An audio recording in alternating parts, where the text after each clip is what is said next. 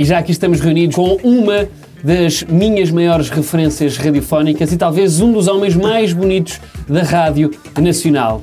É ele, Renato Duarte. Obrigado. Bem-vindo, Renato. Não era preciso.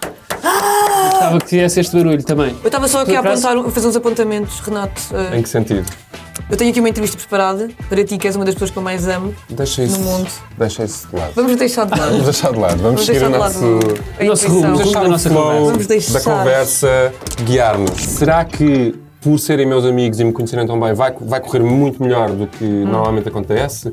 Ou, por outro lado, justamente por isso, temos aqui uma dificuldade acrescida? Eu acho que é uma dificuldade acrescida. Eu acho que é uma dificuldade Porque Eu tenho acrescida. dificuldade em. E não sei se falo por ti também, Luís. És a minha porta-voz, podes falar. Eu, faço, eu tenho uma procuração em que nestes momentos eu falo com o Luís. Uhum. Onde é que começa a Maria Amiga? Onde, Onde é que acaba? a Mariana? E onde- por isso é que eu trouxe os meus apontamentos e afinal é mesmo preciso recuperá-los para não entrarmos aqui num caminho Complicado. bicudo, complicado. Bicudo, bicudo.